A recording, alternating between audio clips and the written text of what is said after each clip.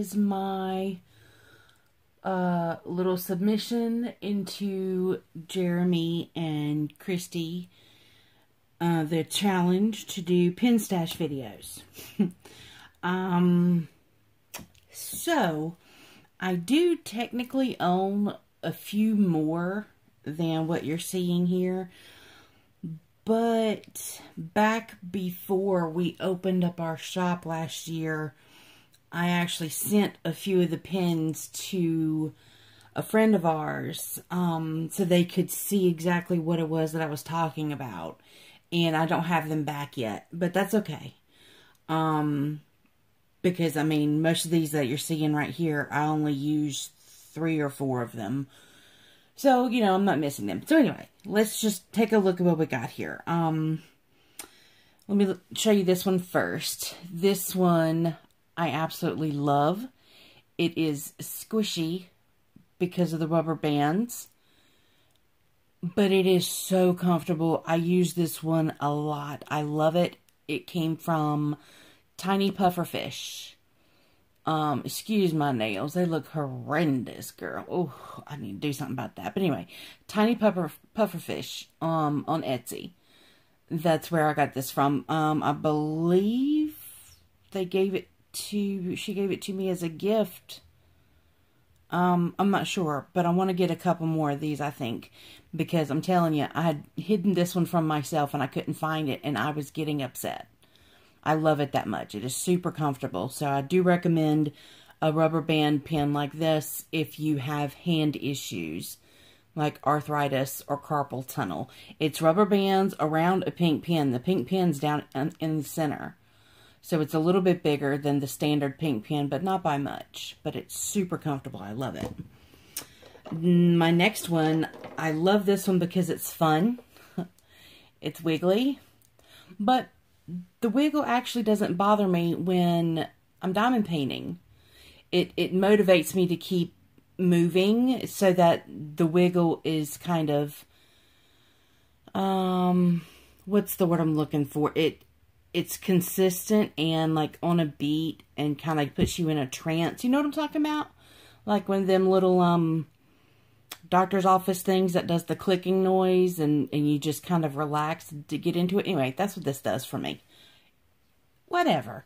Uh, I got from Rachel Ray Craft, her Etsy store. Um, her store is still closed at the moment on vacation. I don't know if she will have any more of these when she opens back up, but it's super fun. I absolutely love it. Um, let me look at this one. I don't have tips in it. But this one was one of my very first acrylic pen purchases. This is from Daniel at Lassen Lathe Works. That, I think he calls this his Hydro Hollow. But that holographic flake in there, oh man. It's gorgeous. I absolutely love it.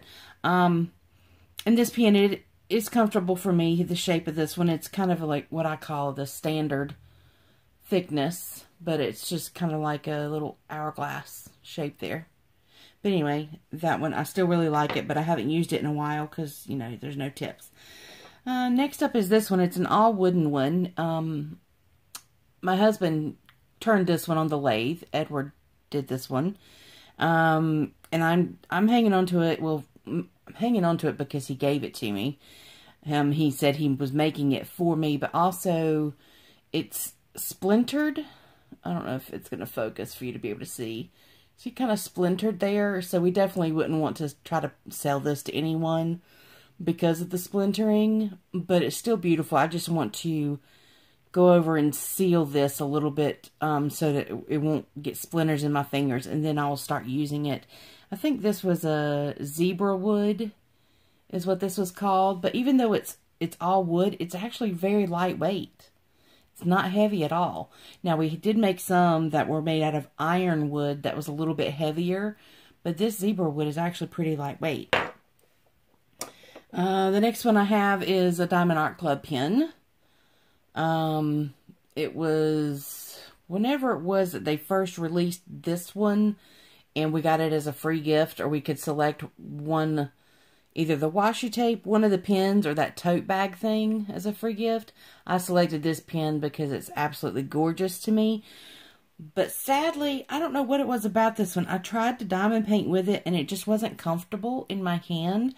It might be the shape. Because see, it this is a three bump. See, there's a bump here and then one in the middle and then one at this end. Whereas this one, it has the divot in the center. And see where that kind of rests in my hand? This one doesn't have that. I, I don't know. Um, I might give her another go and try again, but I just haven't used it that much lately. Uh, the next one, again, there's no tips in this one. I don't really use it. It's pretty thin down here at the end. this is one, um, a blank that we bought and Edward turned on the lathe back when he was first experimenting and learning how to make the pins. Um, you see it's pretty skinny down at the ends and pretty thick. Well, not pretty thick, but it's bigger here in the middle. And it's it's too small down here for my hand, but I've just held on to it all this time because it was one of the first ones he ever made. Um, along with the pack of blanks like this one came this one. That one's pink. This one's like a neon orange. Now this one I use a lot. It's like a four bump you can see I use it a lot. I've got my, um, this is my six shooter I got from Patriotic Team on here. So I do use this one. Um, but it's just orange, just a very simple four bump, and it's pretty comfortable for me holding on to. Again, I think because it has the dip down here in the middle. So I enjoy using that one a lot. now this one, this one I didn't initially start out intending on keeping, but as soon as Edward made this pin and I saw it, I said, yep, I'm keeping that one. It's mine. And I love it. Um, I've got my single placer and my four placer stainless steel from Patriotic Team on there. Um, and I absolutely love it. The teal color is just beautiful. This isn't a blank that we made. We we bought this blank and we've become friends with the man that made these, and he's working on three or four other blanks um, that we will soon have available. Actually, we already have wait lists going on for them. But anyway, um, I saw this, fell in love with it, had to keep it. Um, I don't use this one as much as I use this one, but I still switch them out. I think the combination of this being resin and wood and having two stainless steel tips on it makes the weight of it a little bit heavier, so I can't use it for long periods of time. Whereas this one is all resin and only one stainless steel placer. I can do a pretty good diamond painting session with that one. But that doesn't make me love this one any less. Um, I do think up to this point, this is my absolute number one favorite. There was one other one um, but I let it go. now this one, it's one of our, it's a thick pen. Edward made it. It's, you know, just a pretty basic blank, you know, nothing special. But I kept it because of this right here. This captive ring is the first one that Edward ever made. So I kept it, of course but I don't use this pen to diamond paint. Um, you know, the ring falls where your hand is gripping and everything unless you hold it like this. And it's, it's thick. It's too thick for my hand. I need, I need something along kind of in the middle, but it's part of my collection. So that's why I'm showing it here. I was very, very proud of that moment. So it's not the biggest collection. I definitely have a lot more. I want to add to it. But, you know, easy does it when it comes to me and getting new pins. I'm slowly building this collection where, you know, my diamond painting canvas collection, that one just, like, explodes overnight for some reason.